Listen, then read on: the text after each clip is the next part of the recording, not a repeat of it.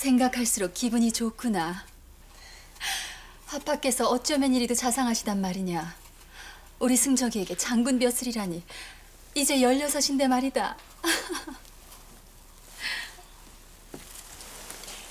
참으로 감축드리옵니다, 대부인마님. 이런 경사가 어디 싸웁니까?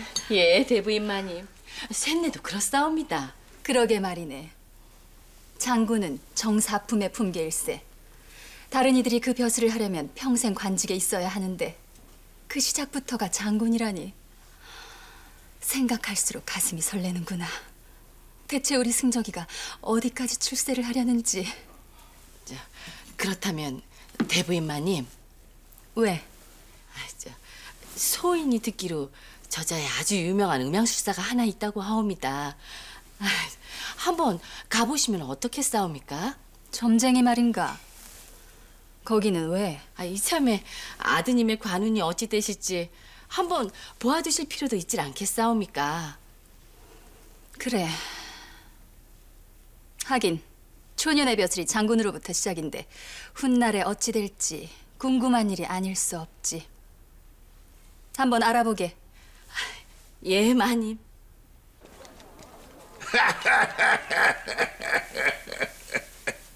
어, 그래 그래 손주 용하다. 벌써부터 장군이라니 말이다. 폐하로부터 내려오는 교지는 받았느냐? 예, 외조부님. 그래. 장군이라면 대단한 벼슬이다. 남들보다 일찍 시작하는 건 좋은 법이지. 하파께서 너를 아들로 보시는 게 분명하다. 그 점을 잊지 말아라. 예, 외조부님. 인생은 승부다. 기회가 찾아왔을 때 그것을 잡지 못하면 다시는 좋은 시절을 만나기가 어려워. 열심히, 더 열심히, 한 밖에 더잘 보이란 말이다. 그것도 병법에 나와 있어요. 병법 알아?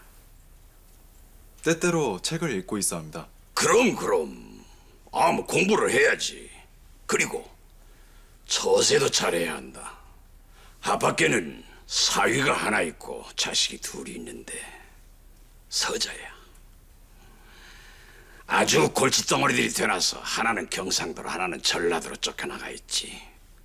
그리고 그 사위도 별볼 일이 없어요.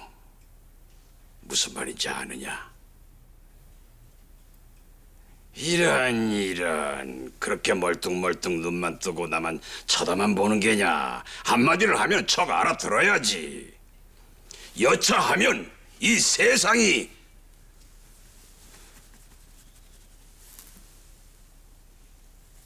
통째로 너한테 굴러 들어올 수도 있다 이 말이야.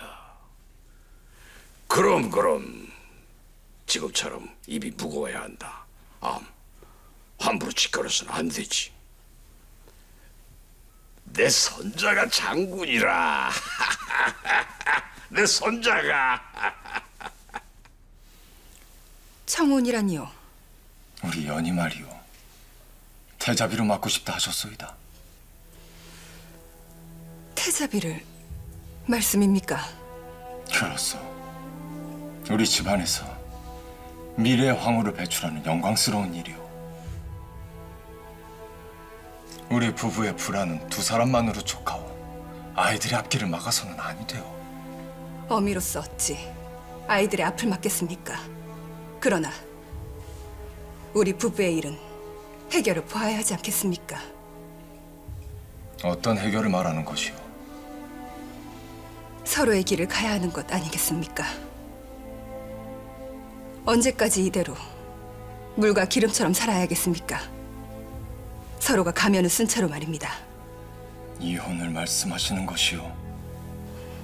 그렇습니다. 그리하면 우리 딸이 태자비가 될 수 있겠소. 아이들의 앞길만은 막지 말자고 하지 않았소. 좋습니다. 그렇다면 딸의 혼례를 치른 후 우리 부부의 인연을 정리하기로 하겠습니다. 그러면 되겠습니까? 김준희하고도 의논을 하셨어. 김준희도 그렇게 하라고 합니까? 그 사람은 그렇게 비루한 인간으로 취급하지 마십시오. 적어도 그런 사람은 아닙니다. 그저 잘못 꼬여 있는 내 인생을 정리하고 싶을 뿐입니다. 그렇게 하십시오. 딸의 혼사는 말입니다. 나도 나쁜 어미가 되기는 원치 않으니까요.